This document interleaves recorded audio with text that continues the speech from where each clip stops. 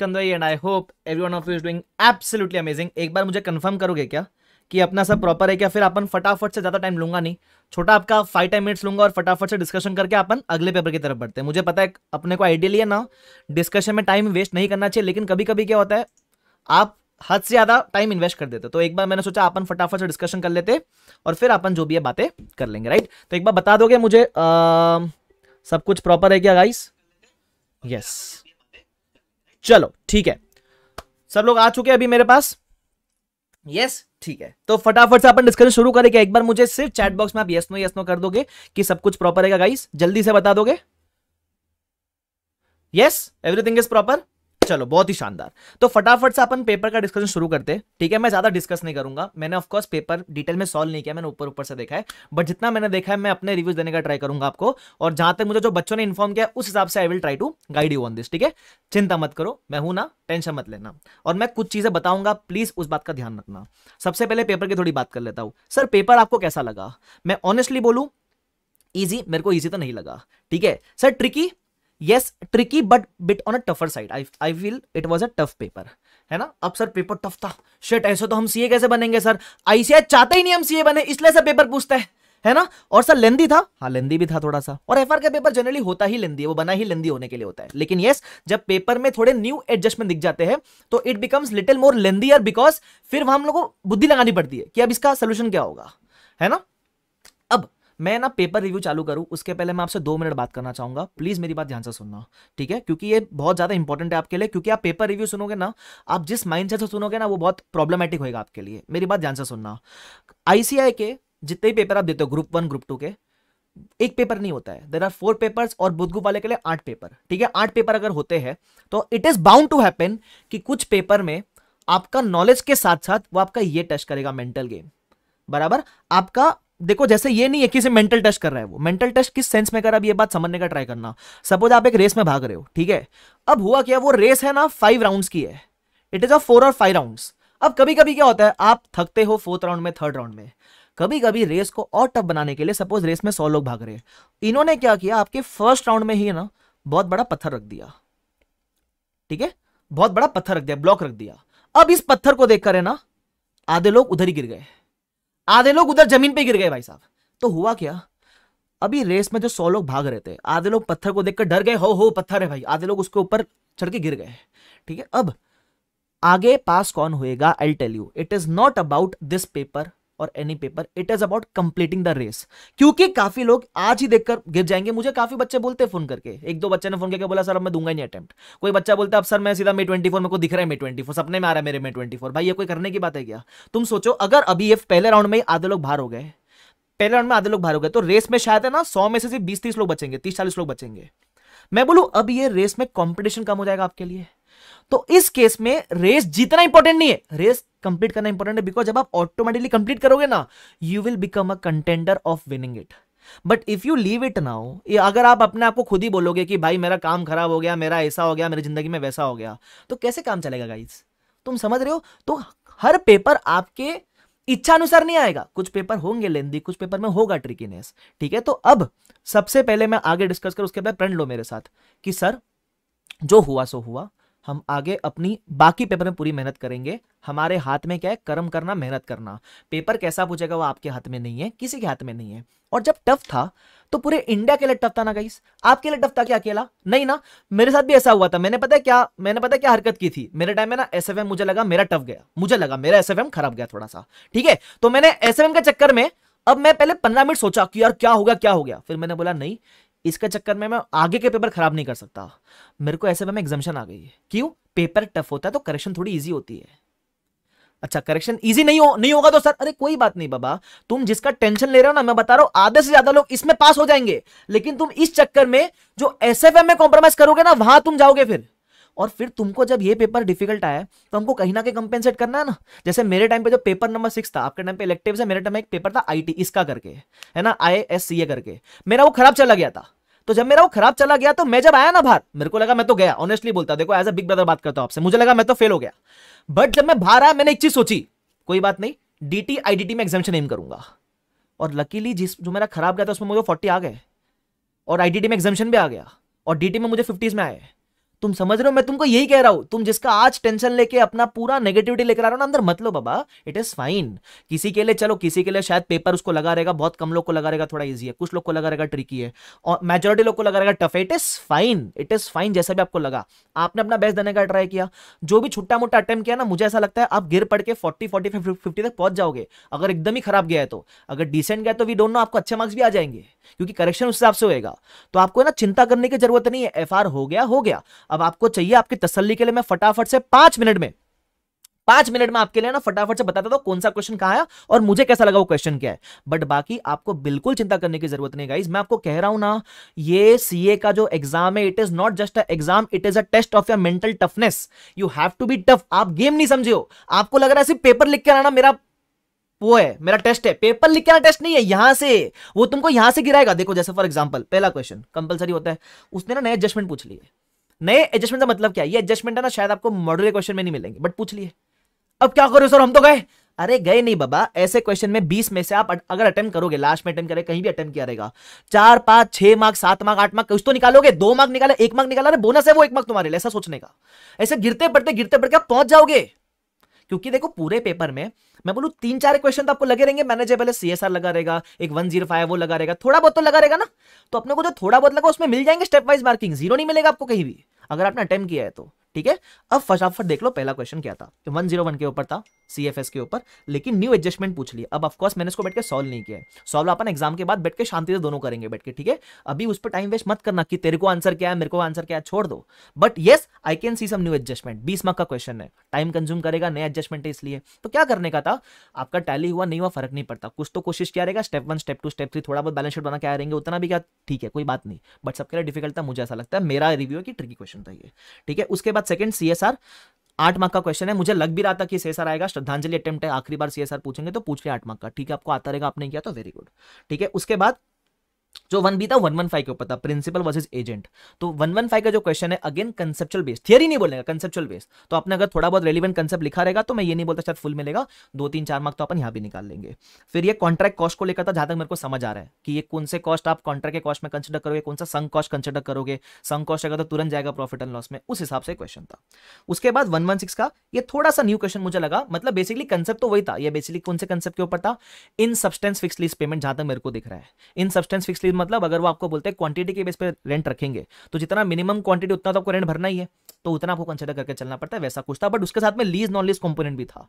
तो पढ़ेंगे, नया क्वेश्चन है तो टाइम कंज्यूम कर जाएगा। थोड़ा बहुत क्या रहेगा इट इज़ फाइन उसके बाद ये ये थोड़ा क्वेश्चन मुझे ऐसा ऑन द फेस आउट देख के लगा कि थोड़ी खुशी दे सकता है, क्योंकि थोड़ा सा मैनेजेबल क्वेश्चन लगा इजी क्वेश्चन लगा मुझे ये वाला। तो ये अगर आपने किया रहेगा तो वेरी गुड ठीक है? उसके बाद अगर आप देखोगे तो सी वाला ट्वेंटी वन का था, चार मार्क मुझे लगा थोड़ा सा लेंदी हो सकता है चार मार्क के लिए छह आठ मार्क का तो अच्छा होता बट ठीक है एफ़ का पेपर लेंदी करेगा तो एक आध क्वेश्चन थोड़ा थोड़ा वो पूछेगा डिफ़िकल्ट बट डिफ़िकल्ट नहीं है मतलब ऐसा लगता है मुझे सेम क्वेश्चन था बॉटल्स वाला। आपके किताब में भी है क्वेश्चन नंबर चेंज किया, लेकिन वेटेज चार मार्क रखा।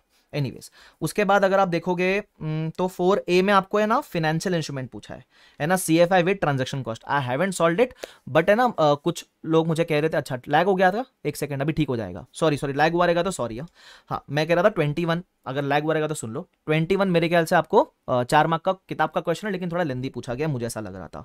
उसके अलावा अगर आप क्वेश्चन नंबर फोर ए देखोगे तो ये सी ये C I with transaction cost वाला क्वेश्चन है। इसमें काफ़ी बच्चों की मैंने सॉल्व नहीं किया of course to be honest but मुझे ना काफ़ी बच्चों की ये कंप्लेन आई थी कि क्या बोलते हैं सर हमारा ना टैली नहीं कर रहा था एलएटी लास्ट में जाकर। शायद वो राउंडिंग ऑफ़ का फ़र्क हो सकता है I am not sure about it but yes अगर आपने अटेम्प्ट किया रहेगा तो वेरी गुड चौदह मार्क में से आपको जो भी मिलेगा, बढ़िया है आपके लिए। ठीक है? बट मैं कह रहा हूँ फेल नहीं हो गया टेंशन मतलब उसके अलावा फ्रेमवर्क के ऊपर थियरी क्वेश्चन पूछा, इधर ज्ञान लिख कर आने का। मतलब यूजफुल आपको फाइनेंस वो कैरेक्टरिस्टिक्स क्या अच्छे फाइनेंशियल स्टेटमेंट्स होने का कंस्टेंट वगैरह क्या है। ठीक है, छह मार्क का थियरी क्वेश्चन उसके बाद ये वन ज़ीरो टू के ऊपर क्वेश्चन था शेयर बेस्ड पेमेंट इसमें थोड़ा गूगली का फेंका आपको नंबर ऑफ़ इंप्लॉइज नहीं दिए. मेरे ख्याल से जहाँ तक मैं देख पा रहा हूँ, आपको रिवर्स कैलकुलेशन मार के निकालना पड़ेगा नंबर ऑफ़ इंप्लॉइज है ना? तो वहाँ थोड़ा ट्रिकीनेस हो गया. बट देखो, मैं जहाँ भी कह रहा हूँ, आप बोलोगे, सर, सभी क्वेश्चन ट्रिकी है. नहीं. आपको है ना, हर क्वेश्चन में शायद फुल ना मिले. बट जो आपने अटेम्प्ट किया आठ में से चार चार मार्क पाँच मार्क चार मार्क पाँच मार्क फिर जो इजी क्वेश्चन था, जैसे वन ज़ीरो फाइव का, मुझे लगा कि मैनेजेबल रहेगा आपके लिए एग्ज़ाम में तो इसमें फुल मार्क्स वैसा करके निकालना होता है ऐसे पेपर में मार्क्स तो ये सीख है आपके लिए। अगर एफ़ आर आपसे ऐसा मैनेज हुआ है तो बाकी पेपर के लिए सीख हो जाती है। और मैं आपको एक बात बोलता हूँ, चलो मैं आगे क्वेश्चन डिस्कस कर लेता, उसके बाद एक बात बोलूँगा प्लीज़ वो बात ध्यान से सुनना मेरी। मैं कहाँ तक डिस्कस किया था? शेयर बेस्ड पेमेंट उसके बाद सेगमेंट इन्फॉर्मेशन आप बोलोगे, इंडिया अपना, वो छोड़ रहा ही नहीं पीछा। हर टाइम में पूछ लेता है। मैंने मैराथन में भी कहा था, मत छोड़ना ऐसा कभी भी। मैंने कहा था ना फॉर्मेट वाला शायद नहीं है लेकिन वो आपको पूछ लेगा कंडीशन वाला शायद। बट इसमें थोड़ा आपको सेल्स वगैरह डायरेक्टली नहीं दिया होता। सेल्स का अलग अलग फिगर देकर दिया हुआ है आपको। तो उस केस में निकालना था कि ऑपरेटिंग है या नहीं है। ठीक है एनीवेज उसके बाद सॉरी रिपोर्टेबल है नहीं? ऑपरेटिंग क्या रिपोर्टेबल है या नहीं है? उसके बाद अपने पास क्या है? एक 38 का क्वेश्चन है मेरे ख्याल से 38 और उसके अंदर इंपेयरमेंट वगैरह हो जाता है मेरे ख्याल से if I am not wrong right तो इंपेयरमेंट की बात किया तो 38 के अंदर इंपेयरमेंट निकलकर आपको आना था उसके अंदर। ठीक है? उसके बाद आपको एक 101 का थियरी क्वेश्चन पूछा है। ठीक है कि ट्रांजेक्शन वगैरह करोगे तो उस पर इंपैक्ट क्या रहेगा? बिज़नेस कॉम्बिनेशन का रेट्रोस्पेक्टिव कैसे लेते हो? तो अगर कंसेप्ट पड़ा हुआ रहेगा इसका तो ज्ञान देकर आने का था इसके अंदर। एनीवेज उसके बाद तो एक वन ज़ीरो का क्वेश्चन जिधर वो डिफ़ॉल्ट मार देता आगे जाकर five six seven eighth year में नहीं बोलता तो आपको एल बना के निकालना था कि मेरे टेंथ ईयर के एंड पे वैल्यू क्या रहेगी, है ना? उसके अलावा जो बैंक को आप एडिशनल अमाउंट दोगे, उसका इफ़ेक्ट वगैरह पूछा था, या कितना अमाउंट एक्स्ट्रा दोगे आप। उसके अलावा ये 16 का पूछा था ओवरहाउलिंग वाला कंसेप्ट का मेजर इंस्पेक्शन ओवरहाउल जहाँ आप डे वन की वैल्यू में ही अज्यूम करते हो कि डे वन की वैल्यू में ही इंस्पेक्शन का खर्चा छुपा हुआ होगा। है ना? उसके बाद आपको पूछा था इंडेस एट के ऊपर चार एडजस्टमेंट दे दिया और बोल दिया, बताओ अकाउंटिंग पॉलिसी का चेंज है कि अकाउंटिंग एस्टीमेट का चेंज है? राइट तो अगर जहाँ तक मैं क्वेश्चन देख पा रहा हूँ तो आपको लगेगा, सर, काफ़ी कंसेप्चुअल बेस था कंसेप्चुअल बेस तो होगा वो तो हर पेपर होगा एफ़ क्या वो तो ऑडिट भी होगा लॉ भी होगा। एसएफएम का तो नेचर ही है कि वो क्वेश्चन ज़्यादा बेस्ड रहेगा, लेकिन उसमें भी थियरी आती है। है ना? अब मैं एक बात आपको कहूँगा, मेरी बात ध्यान से सुनना। जब भी पेपर डिफ़िकल्ट दिखे ना, एक ही टारगेट रहना चाहिए। क्या? जितना हो सके अटेम्प्ट एवरी क्वेश्चन मैं ये नहीं कह रहा पूरा क्वेश्चन राइट करके आओ। अटेम्प्ट एवरी से मतलब है अटेम्प्ट एवरी क्वेश्चन मतलब मेरा अटेम्प्ट आपका क्वेश्चन होना चाहिए, सौ का करूँ। आप बोलोगे, सर, आता ही नहीं, मैं क्या अटेम्प्ट करूँ? अरे, कुछ तो अटेम्प्ट करने का, जो भी आपको बेसिक बेसिक चीज़ें पूछी है डेप्रिसिएशन पूछा है कैरिंग अमाउंट पूछा है, जितना निकाल पाओगे, उतना कोशिश करना चाहिए। हाँ मैं जानता हूँ लेंदी पेपर होगा तो चलो आपने इस पेपर में नाइनटी का एटी का नाइनटी का, जो भी अटेम्प्ट किया रहेगा। देखो, मेरा काम है आपको बोलना क्या, पूरा अटेम्प्ट करो। अगर मैं घर से आपको बोल के भेजूँगा ना कि योर टारगेट शुड भी दिस मच तो आप उससे कम ही अटेम्प्ट करोगे। मैं आपको घर से बोल के भेजूँगा ना कि सौ मार्क का अटेम्प्ट करो तो एटलीस्ट आप मेरे चक्कर में भगा भगा के नाइनटी तक तो पहुंचोगे एट्टी तक तो पहुंचोगे, कहीं तो पहुंचोगे। तुम समझ रहे हो क्या? तो ये आपका टारगेट होना चाहिए। तो जब डिफ़िकल्ट पेपर आए ना ऑलवेज टारगेट की मैं अटेम्प्ट करूँ। मैं बताता इसका रीजन क्या है। इसका रीजन सिंपल सा ये है कि जब आप अटेम्प्ट करते हो और करेक्शन थोड़ी इजी करनी है तो एग्जामिनर को आपको मार्क्स देने के लिए कुछ क्वेश्चन दिखने चाहिए ना उसको। सपोज़ आपने पेपर ही आधा छोड़ दिया तो काम खराब हो जाता है। क्यों? फिर एग्जामिनर को आपको स्टेप वाइज मार्किंग देने के लिए क्वेश्चन नहीं बचे उसके पास। तुम समझ रहे हो मेरी बात? तो आप चिंता मत करो। दो चार बात वापस से कहूँगा। जब ऐसा डिफ़िकल्ट पेपर आए it is a test of your mental toughness mentally tough रहो I know it is very difficult बोलना आसान है बट मैं बोल सकता हूँ क्योंकि मैंने भी ये चीज़ डील की है मेरे अटेम्प में, है ना? और मेरे अटेम्प में मैंने देखा है, जो भी, जो पेपर डिफ़िकल्ट आया था उसमें जो पैनिक करके अगले पेपर नहीं देने गए, या अगले पेपर की पढ़ाई खराब की, वो लिटरली अगले पेपर में फेल हुए थे। जो पेपर का टेंशन ले रहे थे, उसमें चालीस आ गए थे उनको। वो अगले पेपर में टाइम खराब के जैसे भी आप एफआर का अभी आधा घंटा आधा दिन डिस्कशन करोगे मेरा ऐसा हो गया, मेरा ऐसा हो गया। कोई बोलेगा, बहुत ईजी लगा मेरे को तो कोई बोलेगा, मेरे को तो ट्रिकी लगा। जैसा भी बोलोगे आप, ये डिस्कशन अभी एंड करना पड़ेगा। It is six P now and it and it why we have to score in SFM हमारे हाथ में एक बड़ा लक्ष्य है। जैसे मैंने क्या बताया रेस का एग्ज़ाम्पल चार राउंड की रेस आपके लिए। पहले राउंड में बड़ा पत्थर रख दिया। जो गिर गए उठ के भागो। आपके लिए अभी सिर्फ़ एक ही टारगेट है रेस कंप्लीट करना। क्योंकि इस पत्थर की वजह से काफ़ी लोग क्विट कर जाएँगे। आपके लिए कंपटीशन कम है पास हो जाओगे। क्योंकि अगर रोड ब्लॉक है ना, थोड़ा लेटर आता है ना तो इंसान थोड़ी हिम्मत भी करता है कि चल, पहले तो पेपर अच्छे गए थे। रोड ब्लॉक थोड़ा स्टार्टिंग में आता है तो लोग हिम्मत नहीं करते। उसको बोलता अब तो मैं खत्म हो गया। अरे, नहीं खत्म हुआ बाबा, पहले आया तो बाकी ग्राउंड में कम आएगा थोड़ा। तुम समझ रहे हो? तो S F M audit law you have for group one बाकी ग्रुप टू के अंदर भी चार सब्जेक्ट है, अगर बोथ ग्रुप वाले हो तो। We have a task in hand बराबर? FR के लिए रोना है ना आपको? अपन मिलते एग्ज़ाम के बाद आते हैं, शांति से आधा घंटा यूट्यूब पे बैठ के मैं करते और तुम एग्ज़ाम के बाद तो तुमको फ़र्क भी नहीं पड़ेगा कैसा पेपर गया था। तुम समझ रहे हो? तो प्लीज़ एस एफ़ एम पढ़ लो। देखो, हमारे शुभम केसवानी सर भी आ गए। वो कह रहे भी एस एफ़ एम पढ़ लो। तो now it's time for S F M मेरा लाइव आने का एक ही मोटिव था, थोड़ा सा आपको कंफर्ट जोन दे सकूँ, ठीक है? Uh, मैं आपको थोड़ा सा कंफर्ट जोन दे सकूँ। बस अभी एक मेरे लिए काम करना अगर आपको ज़्यादा एनजाइटी होती है पेपर फाड़ के डस्टबिन में डाल देना। सर ऐसे कैसे फाड़ दे अरे फाड़ दो प्लीज़ और मेरे को एक प्रॉमिस करो अब 20 मिनट बाद या जो भी आपको 10-15 मिनट जो भी चाहिए sunk in whatever happened and just go for SFM क्या आप मुझे प्रॉमिस करते हो? फटाफट से मुझे लिखो ना, सब लोग प्रॉमिस करते हैं सर यस मुझे फटाफट से प्रॉमिस प्रॉमिस करके लिखो ना यार.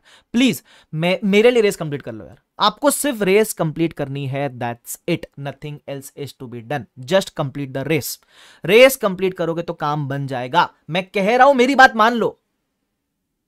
बस yes that is what I require from you yes every one writes promise जो बाद में देख रहा है कमेंट सेक्शन में प्रॉमिस लिख कर जाना और बस, यही यहाँ तक मेरा सपोर्ट आपको रहेगा, ठीक है? बाकी पेपर के लिए छोटे छोटे लास्ट मिनट डालता रहूँगा but please remember it is not a race of just hard work और पेपर कैसा गया it is a race of your mental toughness also be mentally strong game सिर्फ़ पेपर लिख कर आने की नहीं होती है। पेपर लिख कर आने के बाद अगला पेपर कैसे देंगे उसकी भी होती है। ठीक है? तो इसी बात पे आप सब लोग पॉजिटिवली जैसा भी फील कर रहा हो, अपने मन को बोलो all is well positively SM की पढ़ाई की शुरुआत करेंगे। अपना टारगेट लेकर चलना। एसएम का टारगेट रख के चलना कि आज रात तक मेरा ये टारगेट है। कल सुबह उठ के मैं एस की शायद थियरी करूँगा, उसके बाद बाकी चैप्टर्स करूँगा। टारगेट लेकर चलना। आज का टारगेट कंप्लीट करना अच्छा फील होगा। और आज के बाद प्रण ले लो। एफआर खराब गया आपका, मे भी खराब गया ना, डर लग रहा है ना एफआर में शायद मेरे को ज़्यादा मार्क्स नहीं आएँगे। एक प्रण लो आज। जितना एफआर में कंपेंसेट करना है वो एसएफएम में निकालेंगे। ले लिया प्रण, बस। इसी प्रण के साथ बैठ जाओ आगे जाके। वो एफआर का कंपेंसेशन अपन एसएफएम में करेंगे। बस। फ़िलहाल एसएफएम पे फोकस अपना कर्म हाथ में पढ़ाई करना, पढ़ाई करेंगे। जो होगा देखा जाएगा। ठीक है? तो thank you so much every one wish you all the best for exams I know you have been tough थोड़ा सा और टफनेस मेंटेन करनी है अपने को बाकी एग्ज़ाम्स तक। कोई भी क्विट नहीं करेगा, मैं पहले बता रहा हूँ। ठीक है? मुझे कोई मैसेज नहीं चाहिए, मुझे किसी के मन में भी सवाल नहीं चाहिए कि, सर, मैं अटेम्प्ट छोड़ दूँगा मे ट्वेंटी में दूँगा। बेवकूफ़ हो तुम। तुम छोड़ोगे, तुम देखना एग्ज़ाम में तुमको अटेम्प्ट में आएगा forty forty five fifty fifty five आ जाएगा, फिर तुम रोगे बैठ के, मैंने क्यों छोड़ा अटेम्प्ट अटेम्प्ट कोई नहीं छोड़ेगा इधर। सब लोग पेपर देकर आएँगे। Yes perfect thank you for promising me शुक्रिया। एसएफएम में आतंक मचाएँगे, ठीक है? तो thank you so much take care every one wish you all the best may God give you a lot of strength which you require at this point of time फटाफट से जाओ एसएम की पढ़ाई शुरू कर दो, ठीक है? शुक्रिया everyone thank you so much bye everyone take care see all bye और अभी पेपर डिस्कशन कुछ नहीं करना है। पेपर फाड़ो, डाल दो। अब जितना आपने एफआर पे एक मिनट जो स्पेंड किया, वो वेस्ट है। It is a waste of time each and every second you spend from now onwards on F it is waste अब देख लो आप जो वेस्ट करोगे एस में कंपेंसेट होएगा भाई। ठीक है? चलो, जाओ। Bye everyone take care see all bye take care best of luck for all the papers